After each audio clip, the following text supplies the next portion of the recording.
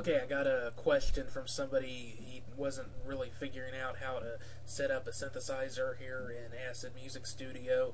Uh, it's a little bit different if you're using Acid Pro, but it's the same basic thing. I believe the only difference is in uh, really where you go to set things up.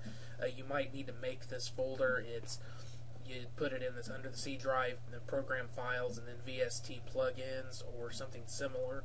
Okay, and then that's just where you put all your plugins and VSTI instruments, the VST instruments. Okay, and then in Acid Music Studio itself, uh, I believe on Pro there's a, a button down here that you would click on. It's down here by the where you view all your samples and stuff in the window.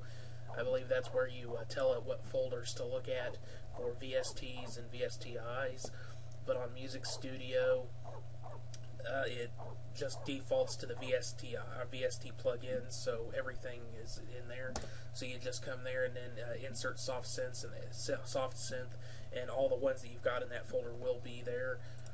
Okay, but if you're just using the default one right here, you can also come over to the where it says Piano One, and that'll have all the options for the different sounds that the default the default synthesizer comes with.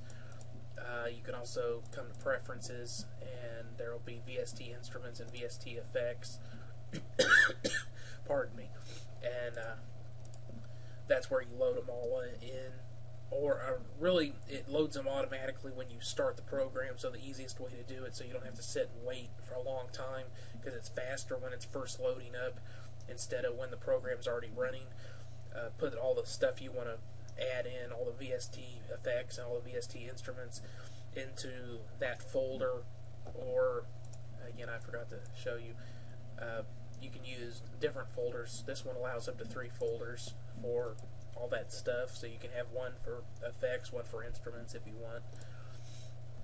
Or wherever doesn't matter. And just put them in there and then start the program and it'll load them up automatically. So yeah it's not hard uh, to do. You just have to, you know, go do a search for like free VST, free VSTIs, um, and that'll find you some stuff for free.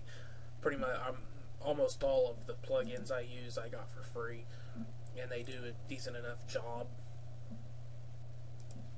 So yeah, that's uh, that's a quick little heads up on that. There you go. Thanks for watching. I'll see you on the next one. Bye. I don't want to do